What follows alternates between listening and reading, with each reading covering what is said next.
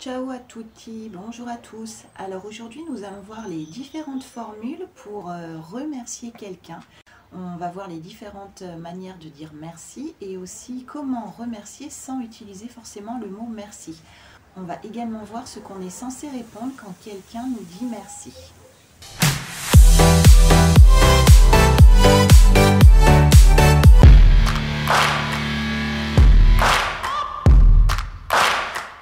Alors, on va donc voir différentes façons pour remercier, c'est-à-dire pour adresser des remerciements à quelqu'un.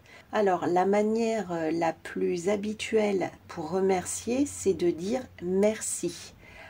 On peut aussi dire merci beaucoup ou merci bien. Ensuite, si vous voulez être un petit peu plus chaleureux euh, en remerciant, vous pouvez dire un grand merci ou merci infiniment ou mille merci.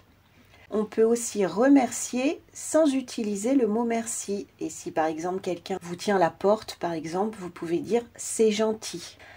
Ensuite, vous pouvez aussi euh, remercier en faisant une phrase, euh, en disant par exemple je te remercie si vous tutoyez la personne que vous lui dites tu, ou alors je vous remercie si vous vous voyez la personne, donc que vous lui dites vous.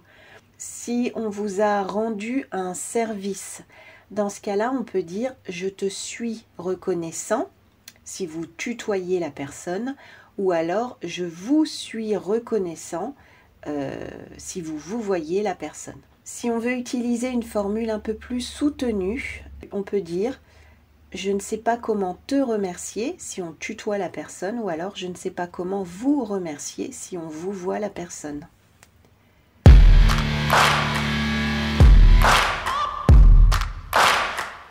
Si quelqu'un vous dit merci, vous êtes obligé de répondre quelque chose. Vous ne pouvez pas rester silencieux. Donc si quelqu'un vous dit merci, la réponse la plus courante, c'est de lui dire de rien. Ou alors avec plaisir.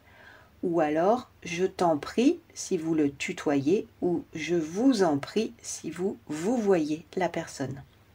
Ensuite, on peut aussi répondre une phrase euh, il n'y a pas de quoi et cette phrase-là, vous pouvez la tourner de manière plus familière en mettant n'y a pas de quoi ou tout simplement pas de quoi.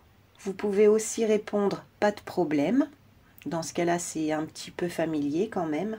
Et en faisant une phrase, vous pouvez dire c'est moi qui te remercie si vous tutoyez la personne ou c'est moi qui vous remercie si vous vous voyez la personne.